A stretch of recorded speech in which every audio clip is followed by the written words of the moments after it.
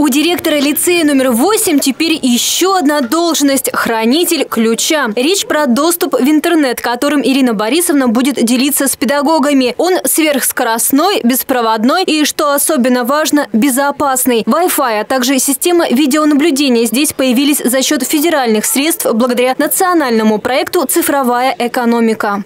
Если у нас интернет раньше был, он у нас был проводной, то сейчас это будет стабильный интернет, который будет, опять же, уроки делать другими, потому что можно раздвинуть границы учебных кабинетов, можно пользоваться ресурсами, которые есть на других платформах еще. И то есть возможностей очень много. Главное – учиться. Образовательное учреждение в рамках рабочего визита в Прикамье посетил депутат Государственной Думы Российской Федерации Антон Немкин и министр информационного развития и связи Пермского края Петр Шиловских. Наш регион стал одним из первых 16 субъектов, где приступили к реализации проекта по формированию IT-инфраструктуры и обеспечению безопасности образовательного процесса в школах.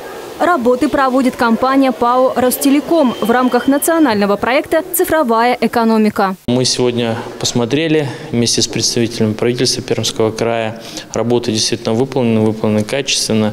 И мы будем продолжать подобную практику, выезжать непосредственно на места и своими глазами смотреть, э, каким образом идет развитие. Главная задача – преодолеть цифровое неравенство. Как ранее отмечал губернатор Пермского края Дмитрий Махонин, оснащение школ новым оборудованием даст школьникам равный доступ к образованию вне зависимости от места их проживания. На текущий момент 920 школ обследуются на предмет э, соответствия информационной инфраструктуре. И в этом году мы должны 28% от этого количества обеспечить э, информационной инфраструктурой.